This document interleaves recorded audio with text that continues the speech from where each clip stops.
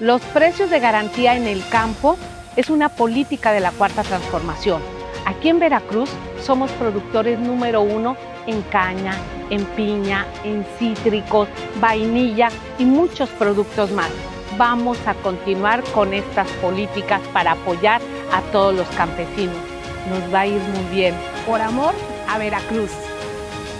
Rocío Nale, gobernadora. Candidata de la coalición Sigamos Haciendo Historia en Veracruz. Vota Morena.